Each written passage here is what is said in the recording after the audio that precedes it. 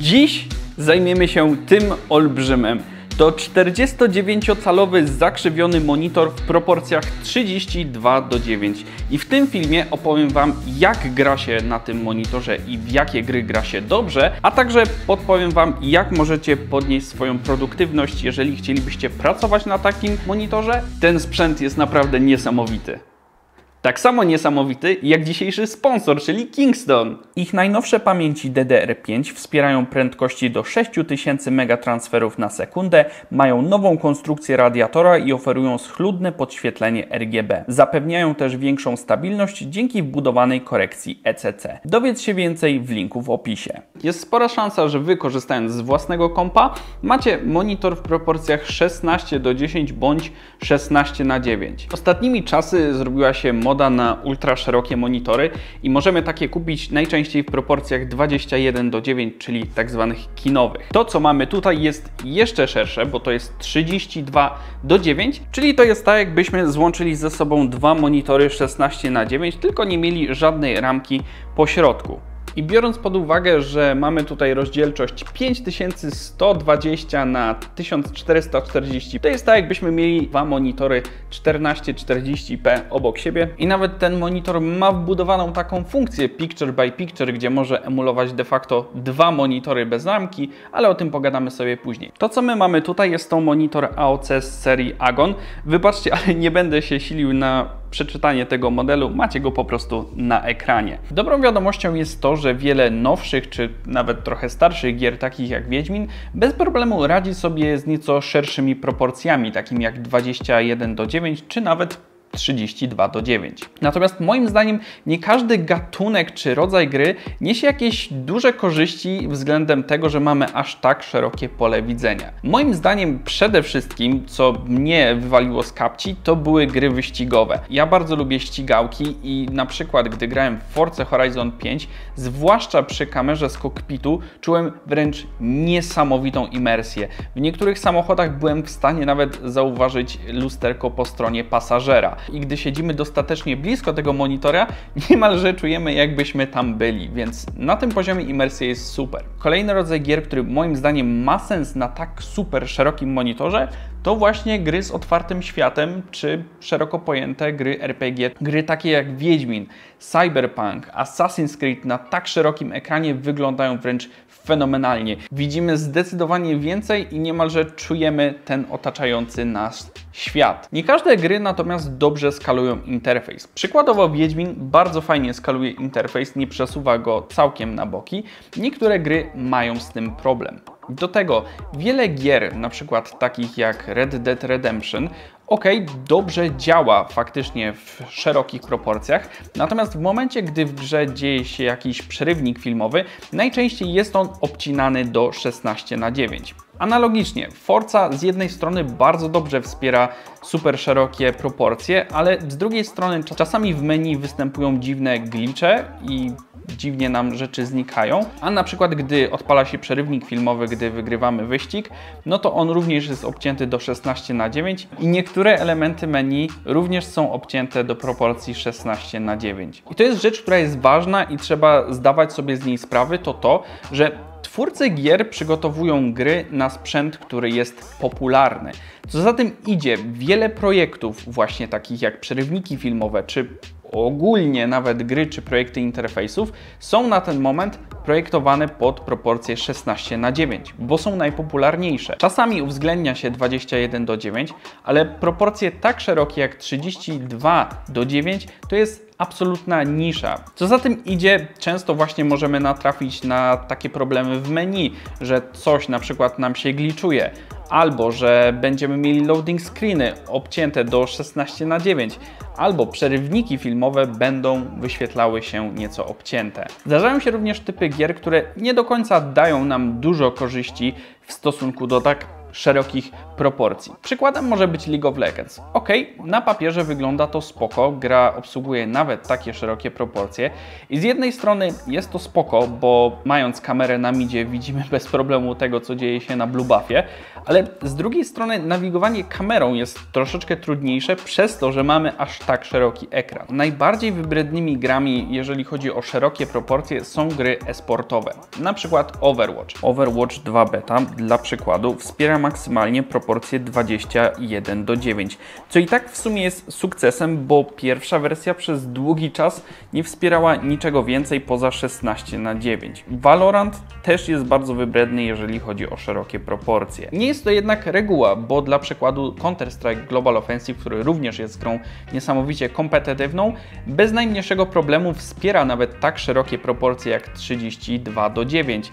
Można tutaj wymienić także Fortnite'a, Call of Duty Warzone czy PUBG.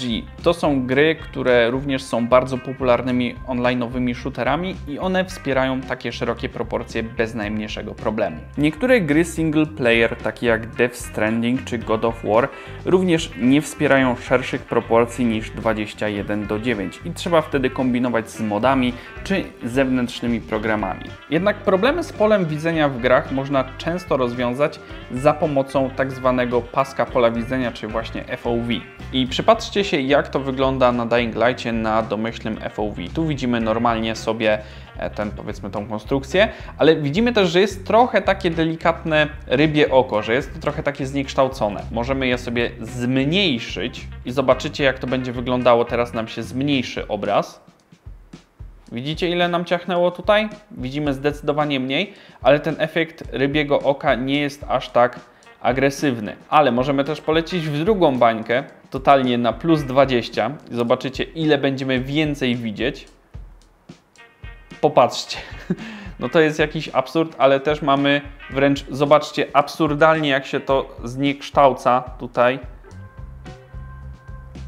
na tym na tej właśnie konstrukcji, to jest wiatrak, teraz widzimy. Wcześniej tego nie widzieliśmy. Ale plusem jest to, że wiele gier umożliwia sterowanie tak zwanym polem widzenia i możemy sobie tą opcję dobrać tak, żeby gra nam się podobała, tak jak my uważamy, że jest fajnie. I na pewno jest jakaś gra, o której nie powiedziałem, czy dobrze działa na tak szerokim ekranie i się zastanawiacie, jak działa i czy działa. I tutaj akurat z pomocą przychodzi nam taki arkusz, który podlinkuję Wam w opisie. Tam macie spis gier, które zostały przetestowane na tak szerokich proporcjach i nawet macie filmy do YouTube'a, żebyście mogli mniej więcej wiedzieć, jak to może wyglądać. Trzeba jednak pamiętać, że granie na takim szerokim monitorze również wiąże się z tym, że musimy mieć odpowiedni sprzęt.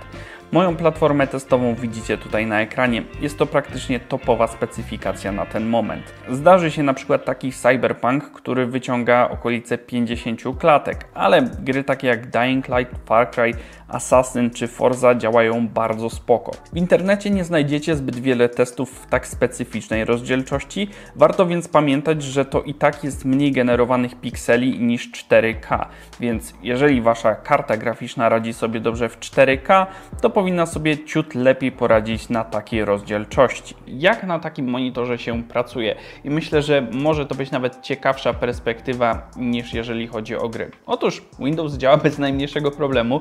On sobie akurat bardzo dobrze radzi z szerokimi proporcjami. Tu nie ma żadnej kraksy. Natomiast powiem tak, jeżeli chodzi o montaż wideo, z mojego doświadczenia, nie czułem, żeby to było jakoś tak super. Ja mam taki setup, gdzie mam dwa monitory, jeden mam pionowy, jeden mam poziomy. I wydaje mi się, że w moim przypadku, jeżeli chodzi o moje preferencje, to dużo lepiej korzysta mi się właśnie z dwóch monitorów. Tak jest spoko, natomiast ja nie czuję takiej potrzeby, żeby mieć aż tak szeroką linię czasu. Dla mnie paradoksalnie miałoby znaczenie, czy monitor nie jest wyższy, po to, żebym mógł więcej de facto warstw zmieścić na linii czasu niż faktycznie jej szerokość. Jeżeli pracujemy na dużej liczbie okien, a no to już jest całkiem inna historia. Warto sobie pobrać program Microsoft Power Toys z Microsoft Store'a. E, to jest program, który ma dużo różnych funkcji, ale nas będzie interesowała ta, która nazywa się Fancy Zones. Wtedy, gdy trzymamy Shift, możemy, zobaczcie, podzielić sobie to tak, możemy sobie to podzielić tak i możemy sobie jeszcze dorzucić tutaj kolejne. I wygląda to troszeczkę jak Tiling Window Manager, który można kojarzyć z Linuxa. Możemy też sobie konfigurować własne układy i tutaj rzeczywiście czuć, że to jest monitor stworzony do tego typu zadań. Jeżeli pracujecie z wieloma oknami naraz, przykładowo jesteście programistą, macie otwarte środowisko do programowania, macie otwartą gdzieś dokumentację, do tego jeszcze gdzieś terminal i połączenie do serwera, ekstra. Analogicznie, jeżeli pracujecie na dużej liczbie dokumentów, jeżeli siedzicie dużo w Excelu, to jest rzecz, która naprawdę pomaga i zwłaszcza w połączeniu z takimi power toysami, gdy przygotujemy sobie fajne strefy i jesteśmy dobrze w stanie podzielić okna, to jest super. Ale prawdziwym hitem jest tak zwany picture by picture, czyli możemy użyć tego jednego super szerokiego monitora, żeby zachowywał się jak dwa monitory 1440p. W tym celu podłączymy sobie HDMI do laptopa. Mamy teraz dwa różne komputery podłączone do tego samego monitora i one traktowane są te połówki jako osobny monitor. Tak więc tutaj mamy naszą stacjonarkę, gdzie tutaj mamy naszą 3080 Ti, a tutaj mamy ekran z laptopa i te ekrany są niezależne i zachowują się jakbyśmy mieli po prostu zwykły zewnętrzny monitor. My tu oczywiście pokazujemy Wam na przykładzie drugiego komputera, ale prawda jest taka, że możecie tutaj podłączyć dosłownie co chcecie na złącze HDMI. Xboxa, PlayStation, Nintendo, cokolwiek i możecie traktować ten super szeroki ekran jako dwa osobne ekrany, tylko bez ramki. Ale istnieje jeszcze jeden bardzo ciekawy trik, ponieważ możemy wpiąć dwa kable wideo do jednego PC-ta, i wtedy nasz jeden PC będzie widział dwa osobne monitory. Co zatem idzie, na przykład na jednej połówce możemy grać, a na drugiej możemy oglądać film z YouTube'a. To Wam pokażę. No i ktoś z Was powie, że ej, no czekaj, no przecież to wygląda tak samo jak wcześniej. No właśnie nie do końca, bo zobaczcie, mamy dwa paski Windowsa, mamy dwa razy godzinę i teraz te połówki traktowane są jako indywidualne monitory, więc na przykład jeżeli przyciągniemy do tej krawędzi, widzicie? Od razu nam się dzielą okna. Przydatne to jest w takim rozwiązaniu, na przykład na jednej połówce wtedy odpalamy sobie grę, a na drugiej połówce możemy sobie oglądać YouTube'a. No i tutaj mamy pełny ekran i to może być na przykład jedno z zastosowań. Albo jeżeli ktoś z Was na przykład jest streamerem i streamy często czy gameplaye nagrywa się w proporcjach 16 do 9, możecie sobie grać na jednej połówce, a na drugiej połówce możecie mieć swojego OBS-a i dodatkowo jeszcze coś odpalonego. No i gracie sobie po prostu tak, jakbyście mieli dwa monitory, z tym, że macie jeden monitor ale na przykład gdy macie Ultrabooka, który może być ładowany przez USB-C i też ma wyjście przez DisplayPorta, na przykład takiego jak ja mam albo jakiegoś Maca, cyk, podpinacie sobie jeden kabel, wasz laptop zaczyna się automatycznie ładować, no i dodatkowo przerzuca Wam także monitor dodatkowy, więc to w ogóle jest niesamowity, kurde, konfig. Ok, no to teraz fajnie byłoby odpowiedzieć na pytanie, jaka jest faktycznie matryca zastosowana w tym monitorze, czy jest dobra. Mamy tutaj matrycę VA o odświeżaniu 120 Hz. Matryca ma dość szeroki gamut i z fabryki kolory są nieco przesycone. Delta na poziomie 1,5 z fabryki uważam, że jest to naprawdę spoko wynik. Duży kontrast jak na matryce VA przystało. Pokrycie sRGB na poziomie 99,7 czy DCI-P3 na poziomie 87,1. Temperatura barwowa jest trochę wysoka i idzie w stronę niebieskiego. Przyda się tutaj kalibrator, jeżeli chcecie pracować profesjonalnie. Ja odjąłem tutaj 6 punktów niebieskiego i 4 zielonego i udało mi się dobrze ustawić temperaturę barwową na poziomie 6500 i kalibracja też sporo pomogła, bo zszedłem ze średnim błędem delta do aż 0,48. Niestety, jak to na matrycy VA, mamy super kontrast, ale występuje ghost Zarówno widzimy go na standardowych ustawieniach, a włączenie overdrive'a na maksa coś tam pomaga, ale VA to dalej VA. Ja za tymi matrycami nie przepadam, ale z drugiej strony muszę też przyznać, że gdy gramy w dość spokojne gry, takie jak Wiedźmin, to kontrast w tym wypadku robi naprawdę fantastyczną robotę. A jeszcze taka ciekawostka, do tego monitora mamy dołączony pilot, żebyśmy sobie mogli sterować rzeczami. Więc ja bardzo cieszę się, że AOC wypożyczyło mi ten monitor, żebym mógł się nim pobawić i o nim Wam opowiedzieć, bo jest to naprawdę super fajna sprawa. Mniej fajna jest cena, która jest przerażająca. Można powiedzieć, tak jakbyśmy chcieli kupić dwa wysokiej klasy monitory 1440p. Aktualną cenę znajdziecie w opisie, chociaż z tego co wiem, to ten monitor niedługo też będzie zastąpiony bodajże w sierpniu przez nowszy model, który ma mieć odświeżanie 160 Hz. I ogólnie do grania w gry fajne, zwłaszcza jeżeli mówimy o takich open worldach jak na przykład Assassin's Creed czy grach wyścigowych. Do montowania filmów mi na ten moment bardziej odpowiada setup, który ja mam. Raz trzeba mieć faktycznie dość mocny komputer, który będzie w stanie wypchać tyle pikseli, no i dwa, trzeba mieć faktycznie jakieś konkretne scenariusze, w których będziemy mogli wykorzystać pełny potencjał czegoś takiego. Dajcie znać, co Wy sądzicie o takim szerokim monitorze i do zobaczenia w kolejnych materiałach. Na razie, BIOS. Coś ty zrobił? Czemu tam chłopa wyrzuciłeś do wody? Kamil rozbójnik, widzicie?